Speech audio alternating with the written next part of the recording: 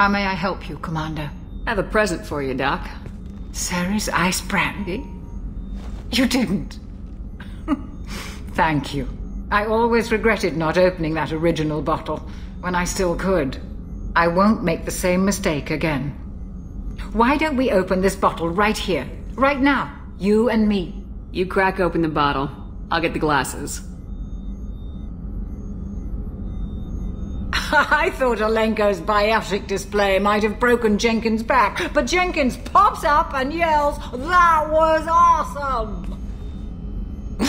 oh, Jenkins. Soldiers like him make the Alliance great.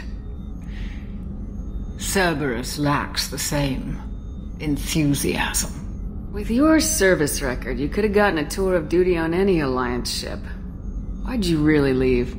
Maybe it's less about leaving and more about staying. As a military doctor, I mostly treat people who are in bad shape.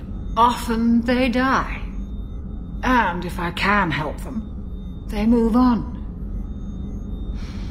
Either way, they leave. Don't you have any friends or family? No, not lacking friendship.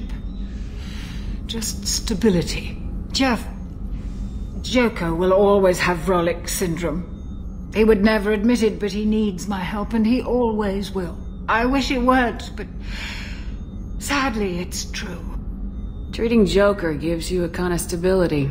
So does this ship, even if it's a copy.